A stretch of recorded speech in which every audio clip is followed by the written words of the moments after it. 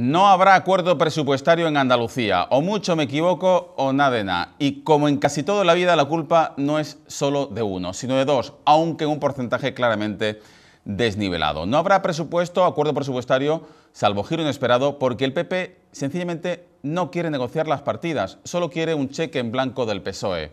Y no habrá acuerdo presupuestario porque el PSOE empieza a darse cuenta del error mayúsculo que ha cometido al ofrecer su mano tendida en un asunto tan ideológico como una ley de presupuestos, afianzando así el perfil moderado del presidente al que ahora atacan de la extrema derecha por negociar con los socialistas. Esto es, el PSOE ha situado en la centralidad del tablero político a un presidente que lo es por los votos de Vox y que ha gobernado plácidamente tres años gracias a la extrema derecha.